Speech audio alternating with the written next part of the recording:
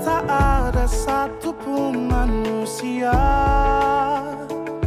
Yang tak pernah disinggahi masalah Mungkin inilah Alhamdulillah adik-adik apa kabar?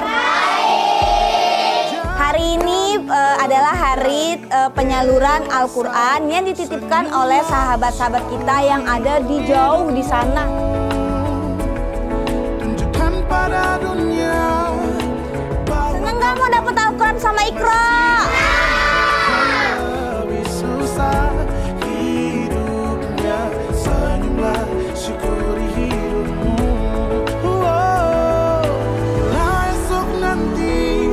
Kau sudah lebih baik. Jangan lupakan masa-masa sulitmu. Kami sebagai Dewan Pengajar mengucapkan banyak terima kasih kepada Yayasan Rahmatan Lil Alamin dan para donatur Al-Quran beserta Ikro.